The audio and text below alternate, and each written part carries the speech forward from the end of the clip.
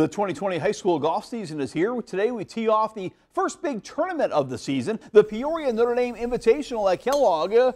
We got some uh, good golf to show you. We'll start with Peoria Richwoods Jack Hammerton. He birdied all of the par fives here on 18 from 225 yards away. He drills this ball all the way to the green to set up a two-putt a birdie. Jack shot 72.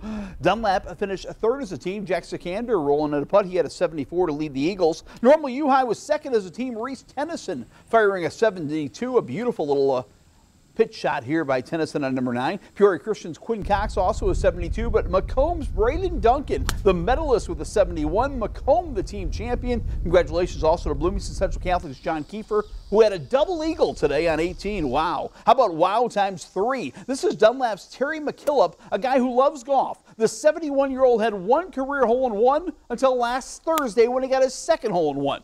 Saturday, he got his third hole in one. Sunday, he got his fourth hole in one. He had a hole in one at Arrowhead in three straight rounds of golf.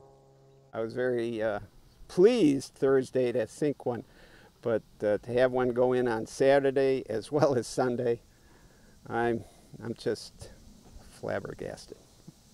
Well, I'd like to be flabbergasted. much more with Ace McKillop tomorrow at 6. Jim Dandy time now. The NBA playoffs today. No one's hot.